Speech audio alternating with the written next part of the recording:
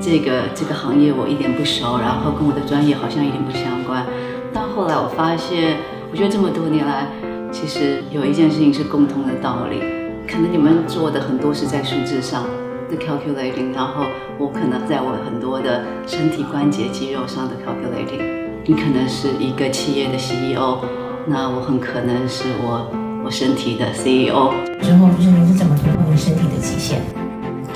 每一次只要有人问到我“极限”这两个字，我就想，嗯，极限，极限要到盖棺那一天才可以论定。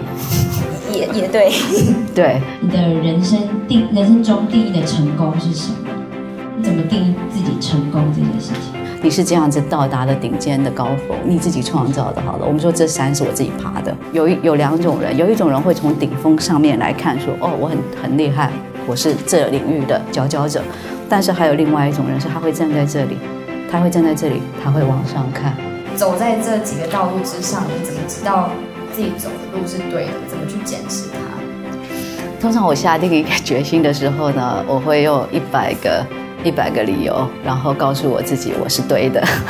很多人开始问我，我为什么可以无时无刻这么的快乐？可是事实上，其实我晚上回家会有一段时间空窗期，我会觉得，Oh my God。我究竟能带给别人多少价值？当我想要爱这么多人的时候，我要先懂得爱自己，我才有能力可以去爱别人。没有，所以先爱自己。嗯，你一定可以的。哎呦，不要哭啦！